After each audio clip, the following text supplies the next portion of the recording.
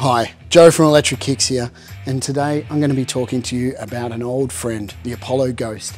You all know it's been around for a while, one of the most reliable scooters on the market, but this Apollo Ghost right here is the new version 2.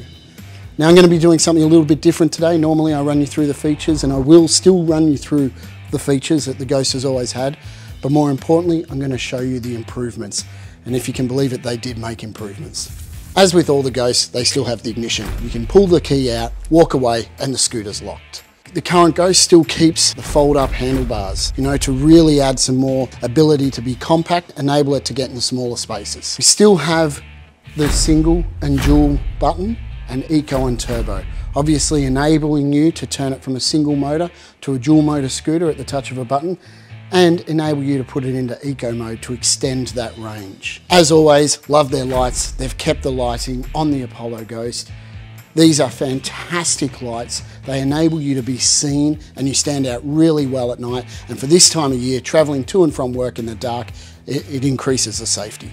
They're all the features you know and love. But now let's talk about where Apollo have really listened to you and improved this already fantastic scooter. Number one is the motors. They were 800 watts, they're now 1000 watt each, giving you extra torque, even more power to get up that hill. They've improved the range slightly. The old scooter was 55k, it is now 63k, giving you that extra bit of range. And for the number one main improvement on the Ghost is the stem and folding mechanism. If ever there was a slight weak point on the old Ghost, it was a little bit of stem wobble. Apollo have listened and they have redesigned the entire stem and folding mechanism. So there you have it, the new Apollo Ghost version 2.